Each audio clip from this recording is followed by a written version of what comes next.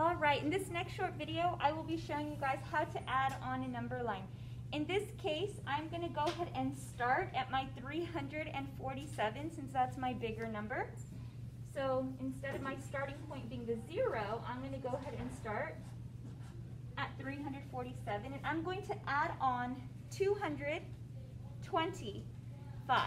I'm going to do big jumps to represent my hundreds, medium-sized jumps to represent my tens, and then small jumps to represent my ones. So here goes my two big jumps. Okay? Then I have my two tens, so my medium size, and then my five ones.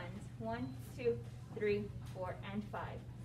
Now I have to add this up to figure out what my answer is. So from 300 plus 100, that would put me at 447, plus another 100 would put me at 547,